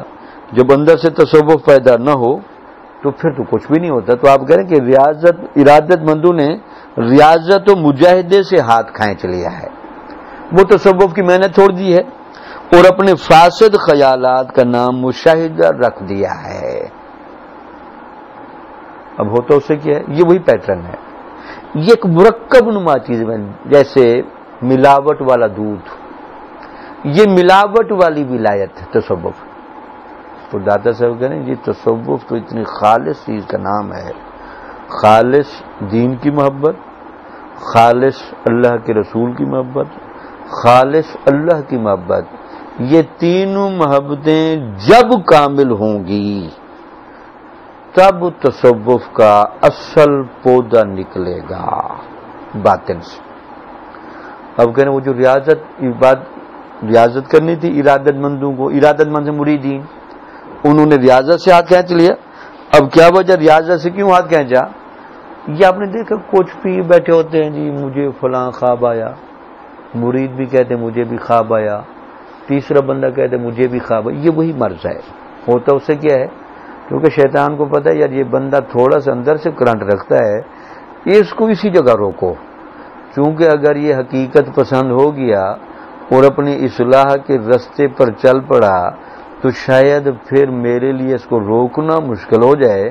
تو لہٰذا اس کو تقریباً جو کچھ ہے نا، اب اس کو تو نکال میں نہیں سکتا۔ اس کو اسی طرح میں گنجلک کر دوں، الجھا دوں، پیچیدہ کر دوں، اگلا سفر مشکل ہو جائے۔ یہ کہ تو سب مشکل ہے۔ بندہ ولی نہیں بن سکتا، صحیح معنی میں متقی نہیں بن سکتا، صحیح معنی میں صاحب تہارت نہیں بن سکتا، صحیح عبادت گزار نہیں بن سکتا۔ وہ یہی جگہیں شیطان اور نفس الجھاتا ہے۔ اب داتا صاحب کا جملہ سننے خوبصورت۔ یہ ان کی طرف اشارے ہیں جو اندر سے وہ مقام و مرتبہ نہیں رکھتے۔ لیکن وہ کہتے ہیں جی ان کو خواب کیا تھے داتا صاحب کا نام اپنے فاسد خیالات کا نام مشاہدہ رکھ دیا ہے۔ ہوتے خیالات فاسد ہیں۔ کہتے ہیں جی مجھے مشاہدہ ہوا۔ مجھے فلاں چیز نظر آ رہی ہے۔ مجھے فلاں چیز نظر آ رہی ہے۔ مجھے فلاں چیز نظر آ رہی ہے۔ ٹھیک ہے؟ تو آپ نے دیکھا کہ حضور داتا صاحب ابھی اپنے زمانے کے اولیاء پر اگرچہ آپ غصہ نکال رہے ہیں، لیکن اس میں داتا صاحب کی بریک بینی دقت نظری اور ان کی گہرائی دیکھیں کہ وہ قاعدہ بیان کرتے ہیں۔ ان کا ہر جملہ بنیادی طور پر ایک قاعدہ ہے۔ ایک اصول ہے، بشرطے کہ کوئی بندہ روک روک کر آگے پیچھے کی عبارتوں کو ڈیولپ کر کے، منظم کر کے، جیسے آپ اور میں ذرا سمجھنے کی کوشش کر رہے ہیں، تو یہی ہے اس کتاب میں۔ تو آپ دیکھ رہے ہیں۔ اب یہ کتنا بڑا مرض ہے، یہ جتنے بھی جاہل لوگ رہ جاتے تو ان کا اصل مرض یہ ہوتا ہے، خالصیت سے شیطان ہٹا دینا، وہ کہتے ٹھیک۔ آپ حیرانوں کی داتا سے بڑا خوبصورت، یہ شیطان وسوسے جو ڈالتا ہے، آپ یہ قیدہ بیان کریں گے۔ شیطان ہمیشہ برائی کی جانب سے وسوسہ نہیں ڈالتا، وہ چلاک ہے بہت۔ وہ آئے گا نیکی کی جانب سے، اور آپ کو الجھائے گا۔ ٹھیک ہے۔ اب ہو سکتا ہے آپ کو مجھے شیطان الجھائے۔ جی کشف المحجوب کا سبق پڑھنا اور سننا کوئی آسان بات؟ کتنی بڑی بات۔ اچھا اگر کشف المحجوب میں جو اصول آ رہا ہے، جو بات آ رہی ہے، آپ اور میں اس چیز کو جذب نہ کریں، اس پیٹرن پر نہ اتریں، کوشش نہ کریں، وہ چیزیں بیدار نہ ہوں۔ شیطان کہتے میرا کام ہو۔ میں نے صرف رکھنا ہی لیکچر پر تھا۔ آگے میرا تو کبھی مقصد ہی نہیں رہا۔ پریشانی اس کو تب لگتی ہے کہ جب بندہ راہ پر چل پڑے، اب اس کو خطرہ ہوتا ہے، یار بندہ چل پڑا ہے، اب اس کو کیسے میں راستے سے ہٹاؤں؟ کون سی گلیوں میں بہکاؤں؟ تو آخر کار چونکہ چل پڑا ہے، یہ پہنچے گا تو اب ضرور۔ تو شیطان حدیثوں میں بھی ہے، وہ شیطان کھڑے ہو کر روتا ہے کہ بندہ میرے ہاتھ سے نکل گیا ہے۔ کیونکہ بندہ حقیقت پسند ہے، اب یہ کتاب، اب آپ اور میں شاید وہ جذبہ بھی نہیں رکھتے، شوق بھی نہیں رکھتے، یہ آپ کی اور میری داتا صاحب کی بارگاہ میں التجا ہے۔ اور آپ اور میں اپنی یہ التجا ہر سبق میں دہراتے بھی رہیں گے۔ حضرت صاحب، یہ آپ نے کرنا ہے ہمارے ساتھ۔ ہمارا تو کام ہے یہاں تک آنا، بیٹھ جانا ڈسکس کرنا۔ آپ کے جملوں کو پیار سے پڑھنا، سمجھنے کی کوشش کرنا، باقی ہم بدل جائیں، دل سے، دماغ سے، روح سے، اندر سے، یہ ہمارا آپ سے سوال ہے کہ یہ آپ تصرف فرمائیں، توجہ فرمائیں، ہمارا دھیان ادھر رہے، ہماری کوشش رہے۔ اب داتا صاحب، ساری بحث ہوگی؟ اب کہتے اپنا حال بیان کر کہتے ہیں جی حضور داتا گنج بخش رحمۃ اللہ علیہ فرمی کتاب ترجمہ کرا کہ میں نے علم تصوبوں میں سے قبل بکثرت کتابیں لکھی ہیں۔ اب وہ بتا رہے کہ میں نے کیوں تصوب میں کتاب لکھی؟ اب لامل ایک ضرورت ہوتی ہے نا بھئی آپ کتاب جو لکھنے لگے ہیں، اس کی ضرورت بیان کر رہے ہیں۔ اب وہ وجہ بتا رہے ہیں کہ عوام یہ کر رہے ہیں، خواص یہ کر رہے ہیں، ہوا و حوث کا غلبہ ہے، اصل حقیقت پردے میں چھپ چکی ہے، ناقصین کی کثرت ہے کاملین اگر کہیں بیٹھے ہیں تو چھپ چکے ہیں، یا اگر کہیں ہیں تو نادر نادر بیٹھے ہیں۔ وہاں تک ہر بندے کی رسائی نہیں ہے۔ تو حضور داتا صاحب اپنی جسٹیفیکیشن دے رہے ہیں جی۔ حضور داتا صاحب رحمۃ اللہ علیہ فرماتے ہیں کہ میں نے علم تصوع میں اس سے قبل بکثرت کتابیں لکھی ہیں، لیکن وہ سب ضائع ہو چکی ہیں۔ اور جھوٹے دعوے داروں نے ان کی بعض باتوں کو مخلوق خدا کو شکار کرنے کی خاطر چن لیا ہے۔ کتابیں گم ہو گئیں۔ اب بعض لوگوں کو میرے کچھ جملے یاد رہ گئے، اقوال یاد رہ گئے، اصول یاد رہ گئے۔ وہ ممبر و محرابوں پر بیٹھ کر باتیں میری بیان وہ کر رہے ہیں اور اسے اپنا ولی ہونا ثابت کرتے ہیں، اپنا صاحب مقام ہونا ثابت کرتے ہیں۔ تو حضور داتا صاحب کہہ رہے ہیں کہ میں نے تصوف پر کتابیں اس لیے لکھی تھی تاکہ عوام کو حقیقت کی راہ بھی دکھاؤں اور اولیاء کو بھی حقیقت کی راہ دکھاؤں۔ اب اس سے خود اندازہ کہ خواجہ معین الدین چیشتی اجمیری رحمۃ اللہ علیہ نے یہ چلہ کیوں کاٹا ہے؟ کتاب کی گہرائی تو دیکھیں۔ تو ویسے انہوں نے نہیں کہا کہ وہ کاملین کے بھی رہنما ہیں اور ناقصین کے پیر کامل ہیں۔ تو اس کی بنیادی وجہ یہ تھی کہ حضور داتا صاحب کا جو ایک روحانی، فیض روحانی لوگ تو خیر روحانی تھے، وہ سمجھتے تھے بات ان کی باتیں۔ وہ تو کتاب ہی بتاتی ہے کہ آپ اتنے حقیقت پسند، اتنے واضح اور اتنے کلیئر تھے تصور میں کہ تصور میں کسی قسم کا عیب و نقش آپ کو گوارا نہیں۔ اب کہتے ہیں، اور جھوٹے دعوے داروں نے ان کی بعض عبارتوں کو، باتوں کو مخلوق خدا کو شکار کرنے کی خاطر چن لی اور باقی سب کو گم کر کے ان کا نام و نشان تک مٹا دیا ہے۔ اب کہتے عبارتیں کتاب مل جائے کی جان بوجھ کر تاکہ میرا نام بھی نہ آئے۔ آپ نے دیکھا پہلے دادا صاحب نے اسی لیے لکھا کہ میں نے کشف الماجوب پر نام کیوں لکھا تھا؟ تو وہ میرا نام بھی ضائع کیا اور پھر بعض عبارتوں سے اپنا بلی ہونا وہ ثابت کر رہے ہیں۔ چونکہ حاصلوں کا یہی شیوا رہا ہے۔ انہوں نے سرمایہ حسد اور انکار کو ہی نعمت خدا بندی جان رکھا ہے۔ چونکہ ان میں سے کچھ لوگ تو ایسے ہیں جنہوں نے نقل تو کیا مگر پڑھ نہ سکے۔ اب ان کی ذرا خبر لے رہے ہیں جنہوں نے داتا صاحب کی کتابیں چرا لی، عبارتیں رٹ لی اور گفتگو کرنے لگے۔ اب داتا صاحب ذرا ان کے بارے میں بھی اشارہ کر رہے ہیں۔ اب ان کے بارے میں جملہ کتنا خوبصورت فرما رہے ہیں۔ آپ کہتے ہیں کہ چنانچہ ان میں سے کچھ لوگ تو ایسے ہیں جنہوں نے نقل تو کیا مگر پڑھ نہ سکے۔ میری کتاب لی، نقل بھی کیا، اپنا مصنف بھی لکھا بھائی اس کا مصنف داتا صاحب نہیں، ہم ہیں۔ حالانکہ کیفیت یہ تھی کہ وہ میری کتاب پڑھ ہی نہیں سکتے تھے کہ میں نے لکھا اس میں کیا ہے، اور وہ مصنف بن کے بیٹھ گئے۔ آگے کہتے ہیں، اور کچھ لوگ ایسے بھی ہیں جنہوں نے پڑھا مگر معنی اور مطالب سے بے بہرا رہے۔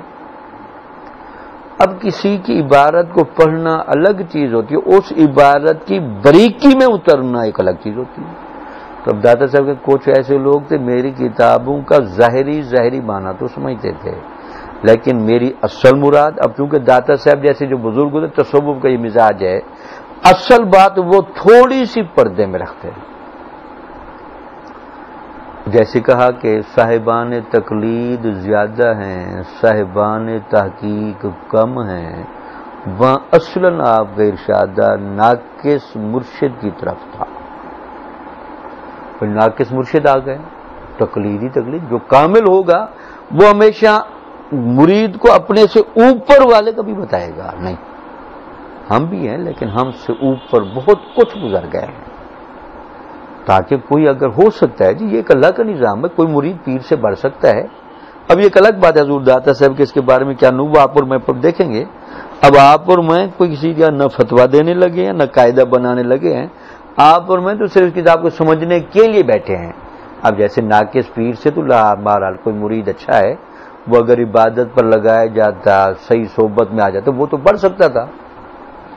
تو اس وجہ سے آپ نے وہاں اشارہ کیا۔ بھائی صاحبان تقلید زیادہ ہیں۔ اب کہتے ہیں جی میری کتابوں کو لوگ پڑھتے رہے، لیکن میرا اصل ماننا اور مطلب نہ سمجھ سکے۔ اب داتا صاحب اس بات کے ذریعے یہ اشارہ دے رہے ہیں کہ کشف المحجوب کو پڑھنا آسان کام ہے۔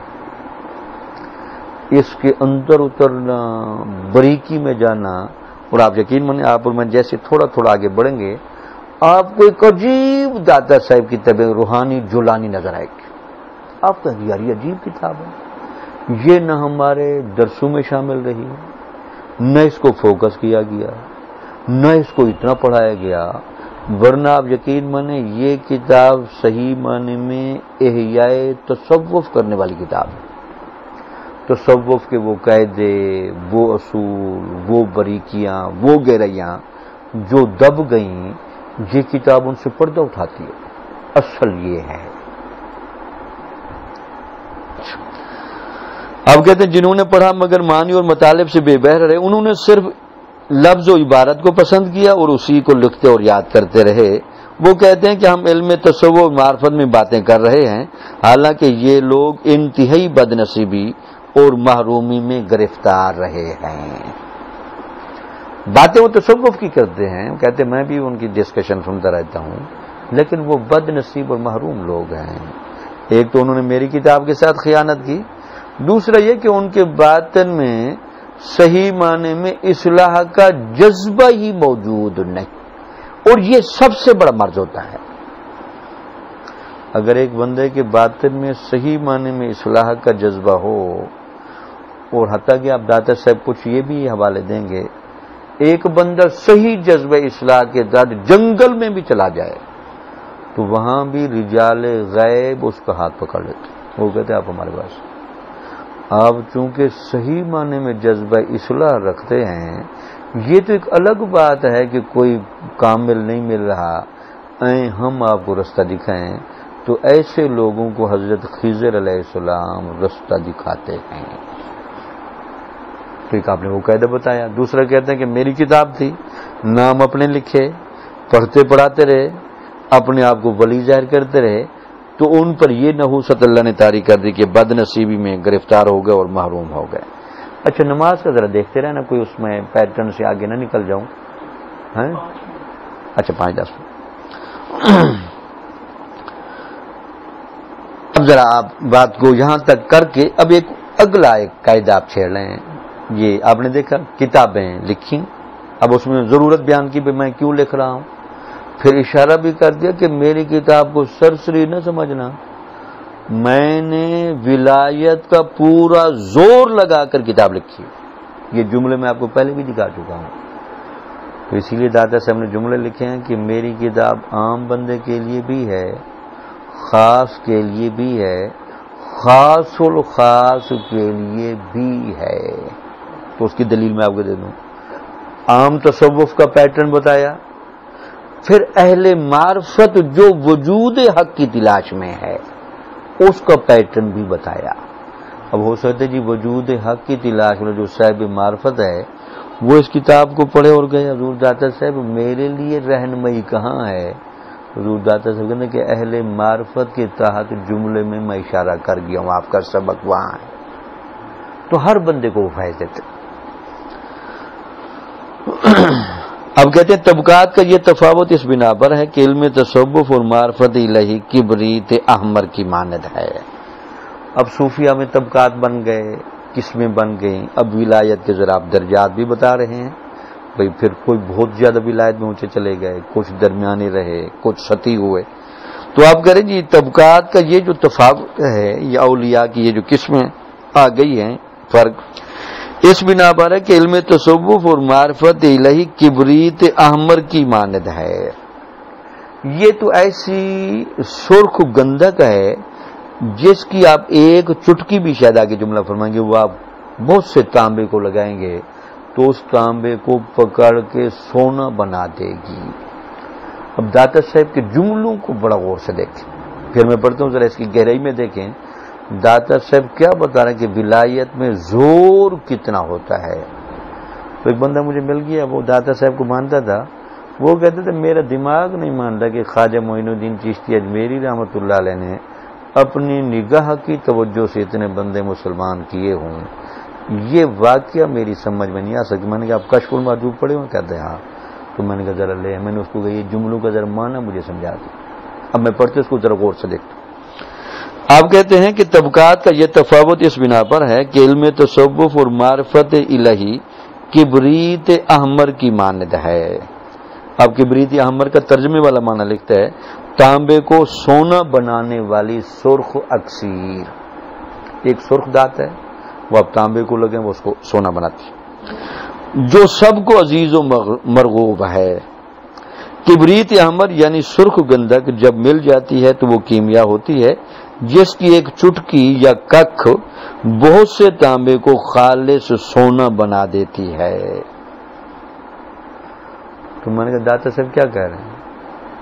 اب تانبے کی ایک الگ حقیقت، سرخ دھات کی ایک الگ حقیقت ہے، جس کو وہ کبریت احمر کہہ رہے ہیں۔ اب کبریت احمر کا تھوڑا سا حصہ بھی اگر تانبے کے ساتھ مل جائے تو تانبا اپنی حقیقت ہی چھوڑ جاتا ہے۔ بالکل بدل جاتا ہے۔ اب ذرا داتا صاحب آپ کو مجھے تصوف کی وہ بریکی بھی بتا رہے کہ تصوف پھر کیا ہوتا ہے۔ تو آپ کا خیال یہ کہ یہ دل و دماغ کی یا روح کی اللہ کے ساتھ یا اللہ کے رسول کے ساتھ یا دین کے ساتھ وہ گہری کمٹمنٹ کا نام ہے۔ اس گہری محبت کا نام ہے۔ کہ اگر وہ بندہ کسی پر توجہ کرنے پر آ جائے تو جیسے سرخ گندھک تانبے کو بدل دیتی ہے، وہ بندہ اگلے بندے کو پکڑ کے بدل دے گا۔ کتنا ہوگا ولایت کا زور دکھایا کیا ہوتا ہے ولی؟ اب داتا صاحب گویا کہ اشارہ یہ کریں کہ اگر ہمارے زمانے میں لوگ بدلے نہیں، تو ان کا اشارہ یہ ہے کہ پھر ولایت کمزور ہے۔ اگر ولایت میں یہ زور ہوتا تو میں حضور داتا صاحب اکیلے لاہور میں آئے تھے۔ ان سے پہلے اولیاء پہ لیکن اتنا زوردار بندہ اللہ کے فضل سے بعد میں آیا۔ میرے خیال لاہور کو مجبور ہونا پڑا کہ یہ اسلام قدا بن جائے اور اسلام کا اور بھی اولیاء ہندوستان میں ہے وہ اتنا زوردار ولایت کے مالک تھے۔ اب یہ ولایت میں کتنا زور ہوتا ہے اور اس سے ہوتا کیا ہے؟ وہ بیان کر رہے ہوتا ہے۔ تو ولی کتنا طاقتور ہوتا ہے داتا صاحب کہتے ولی اتنا طاقتور ہوتا ہے کہ جیسے سرخ گندک بہت سارے تانبے کو لگا دیں۔ اب ہو سکتا ہے جو اس کیمیا کے علم کے ماہر ہیں یا جو لوگ جانتے ہیں، تو داتا صاحب نے سمجھتے ہیں ایک چٹکی بہت سارے تانبے میں لگا دی جائے تو سارا تانبا ہی سونا بن جاتا ہے۔ اسی وجہ سے آپ اشارہ یہ بھی کریں کہ مرشد کامل مل جائے، اس کی اگر ایک نگاہ بھی ہو جائے اور اس کی چند منٹ کی بھی صحبت مل جائے، تو بندے کے بدلنے کے لیے کافی ہے۔ لیکن اگر جب اس طرح کا بندہ نہ ملے، تو پھر داتا صاحب کہتے ہیں، اس پر تقلید نہیں، تحقیق کی نگاہ رکھنا۔ دیکھیں، دونوں سائڈوں کو کیسے کور کیا۔ اب یہی چیز ہوتی ہے، ہمیشہ قید یاد رکھیں۔ گیبس ہوتے ہیں تو خامی آتی ہیں۔ ولایت کی تعریف کرنے ہیں تو یہ ولایت، سرخ گندک تانبے کو سونا بنائے۔ لیکن جب آپ کو پتہ لگے کہ ناقص ولی بن جائیں، تو وہاں تقلید نہیں، تحقیق کی ضرورت ہے۔ وہاں ان کے پیچھے چلنا نہیں، ان سے دامن چھڑانے کی ضرورت ہے۔ تو دیکھ یہ سائڈیں ہیں۔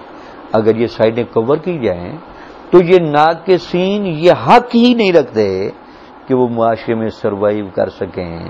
اب چونکہ بعد میں تصور میں جتنی تبلیغ ہوئی، باتیں لکھی گئیں، کتابیں لکھی گئیں، تو شاید ان دونوں چیزوں کو ایسے بھی آنے کیا گیا جیسے داتا صاحب کر رہے ہیں۔ کامل مل جائے تو یہ نگاہ، نہ ملے تو پھر اس کے پیچھے چپ کر کے بیٹھے نہیں رہنا۔ پھر وہاں سے دامن چھڑا کر کسی اور مرشد کامل کو تلاش کرو تاکہ اس سے تمہیں حق کا راستہ ملے۔ علم تصوب معرفت علیہ کبریت احمر کی مانند ہے، جو سب کو عزیز و مرغوب ہے۔ کبریت احمر یعنی سرخ گندک جب مل جاتی ہے تو وہ کیمیا ہوتی ہے، جس کی ایک چٹکی کک بہت سے تانبے کو خالص ہونا بنا دیتی ہے۔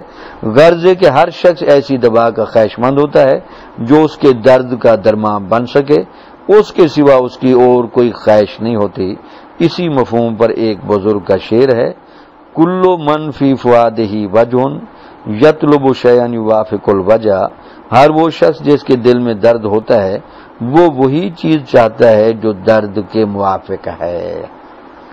اب یہاں ذرا بتا رہے کبریت احمر تو پھر چھوٹے ولی کو بھی مل جاتی ہے، پھر مقدار کم ہے۔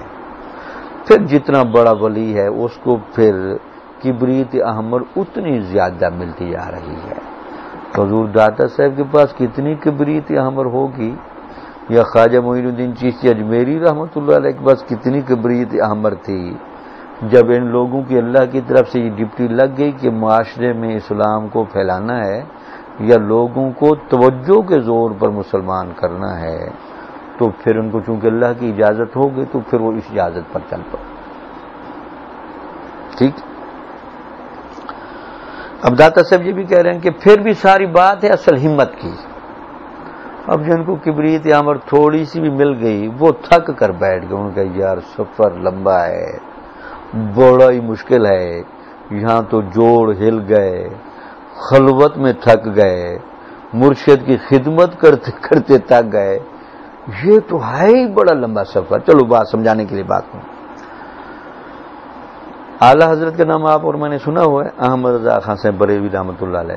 ان سے کسی نے پوچھا کہ درس نظامی کتنا عرصہ پڑھنا چاہیے تاکہ ہم کسی کو صحیح عالم کہہ سکیں تو آپ نے کہا پچیس سال۔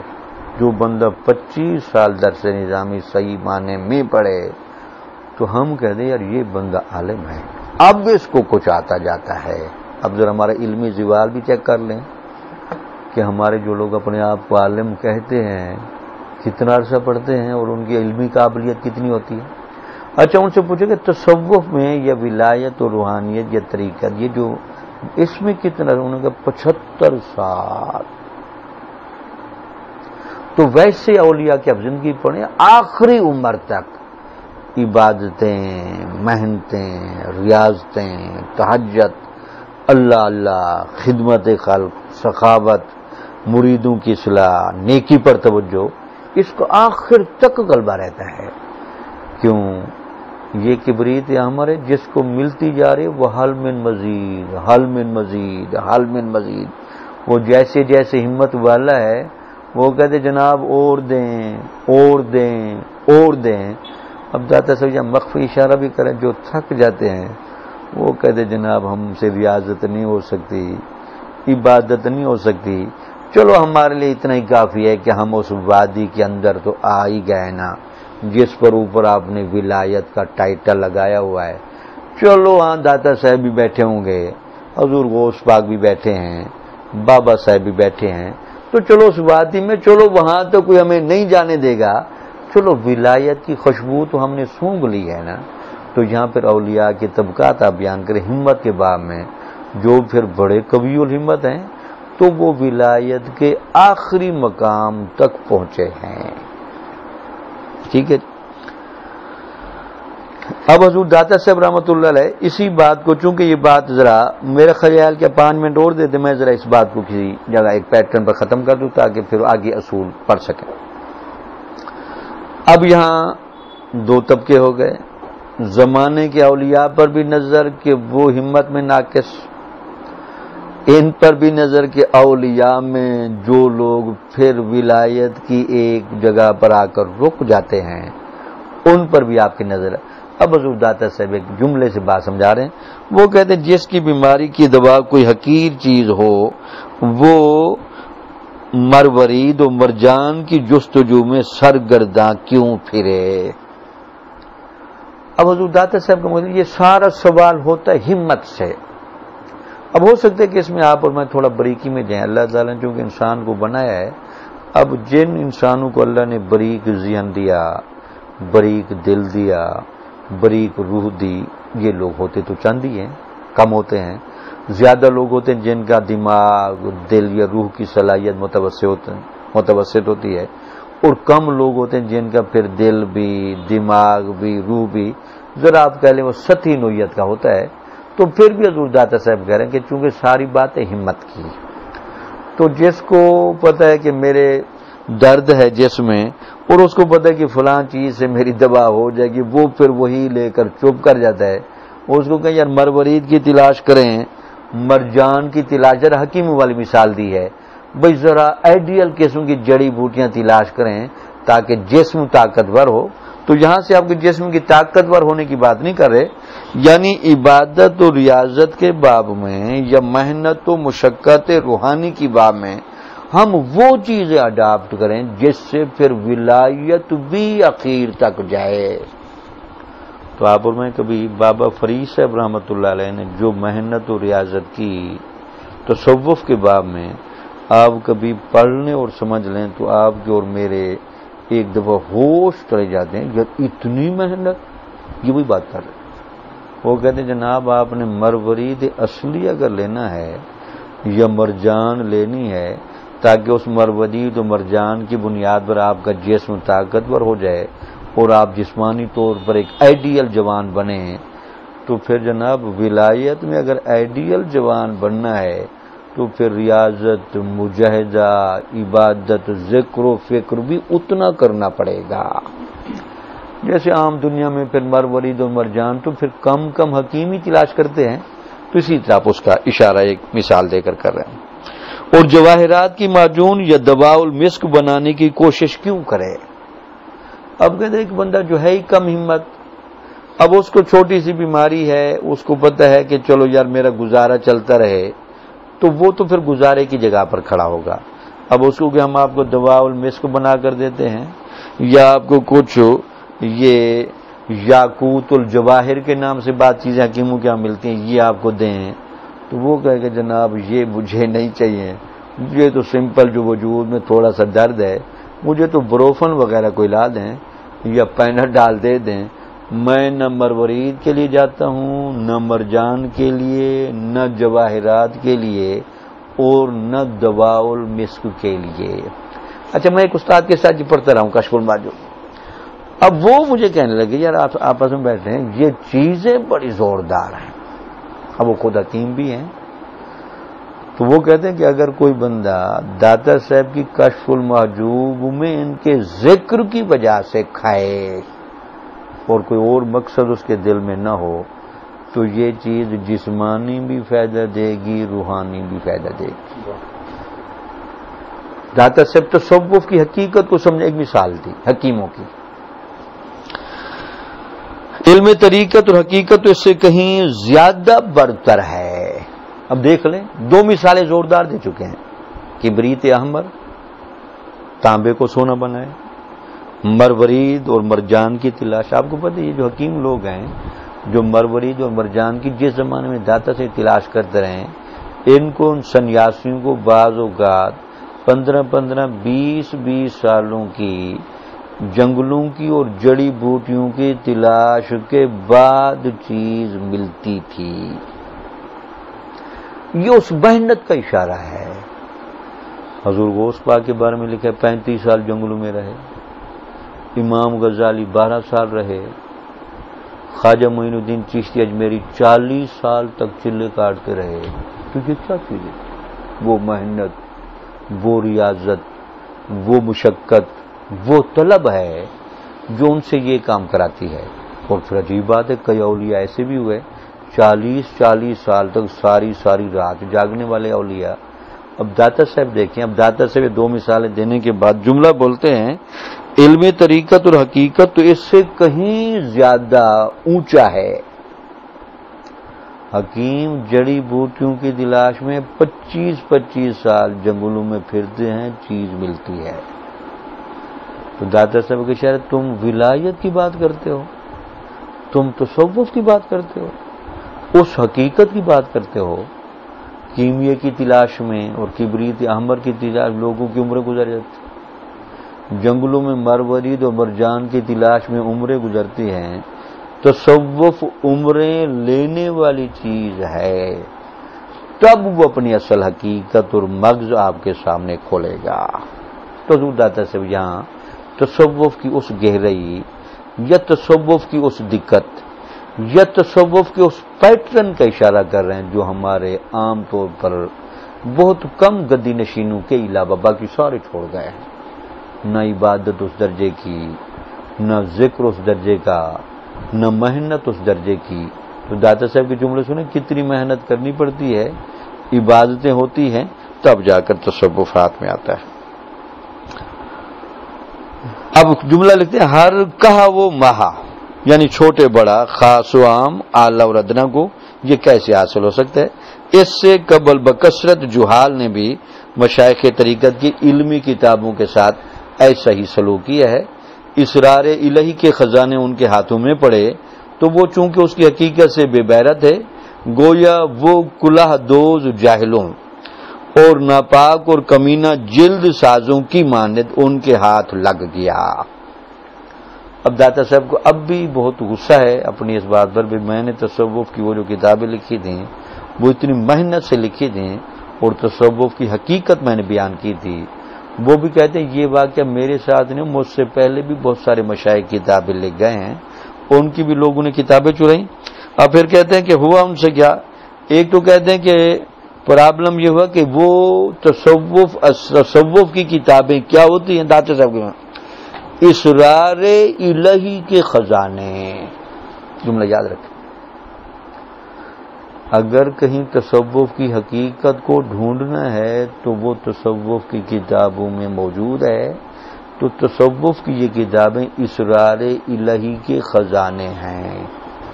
تو آپ اور میں کہہ سکتے ہیں، داتا صاحب کی زبان جناب، آپ کی یہ کتاب بھی اسرار الہی کے خزانوں میں سے ہے۔ تو اولیاء، یہ ہمیشہ داتا صاحب نے جملہ لکھا کہ میں نے اس کتاب کو لکھنے سے پہلے استخارہ کیا، اجازت مانگی جناب، گہرے راز کی باتیں ہیں۔ ولایت و روحانیت ہے۔ اجازت ہو تو میں ذرا قلم اٹھاؤں۔ اگر اجازت نہ ہو تو پھر میں پردہ رکھوں۔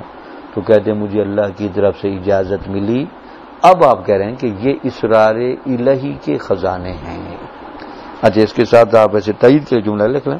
عبد الوہاب لکھے اپنی کتابوں میں کہ تصوف کی کتابیں ولایت کا مغز ہوتی ہیں تصوف کی کتابیں اگر کوئی صحیح معنی میں پڑھے تو وہ بندہ بھی ولایت کے قریب چلا جاتا ہے۔ کیوں؟ یہ رستہ بتا دی لیکن کتنے کنسپٹ آپ کے اور میرے کلیئر ہو رہے ہیں کہ اصل چیز کیا ہے۔ اب کہتے ہیں وہ اسراری لہی کے خزانے تھے، عام لوگوں کی ہاتھ چلے گی تو عام لوگوں کو تصوف کی حقیقت کا کہتے داتا سے پتہ نہیں، انہوں نے کیا کیا؟ یہ جو ٹوپیاں بنانے والے نہیں بیٹھے ہوتے اور وہ گتے اندر رکھ کر اوپر سے ٹوپی سی دیتے ہیں، انہوں نے جی وہ ان کو بیچ دیے، انہوں نے ان کے استر بنا کر اوپر دھاگے مار مور کے ٹوپیاں بنا دی۔ بھائی چلو یہ ٹوپیوں کے کام ہیں۔ یا پھر آپ کہتے ہیں کہ انہوں نے یہ جو کتابیں ان ناپاک اور کمینہ جلد سازوں کو دے دیں، جنہوں نے پھر ان پر کیا کیا؟ ابو نواز کے شیروں کے دیوان۔ اب ہو سکتے اس زمانے میں ایسا ہو جا رہا جو تاثر مل رہا ہے، سیاہی اس زمانے میں شاید مٹ جاتی تھی یا گروگی ہو جاتا، دھل جاتی تھی۔ تو پھر کیا کرتے تھے؟ کتابیں تو سبب کی تھیں۔ انہوں نے لی سیاہی کو دھو دیا۔ جب صفا صاف ہو گیا تو ابو نواس ایک شاعر گزرا ہے جاہلیت کا، جو طنز و مزہ اور آپ کہہ لیں بد اخلاقی کے اشعار بھی کہتا تھا۔ انہوں نے ان کتابوں کو لیا صفے صاف کرا کے داتا صاحب کہتے ہیں کہ ابو نواز کے اشعار لکھوائے گئے اور ان تصوف کی کتابوں کو صاف کر کے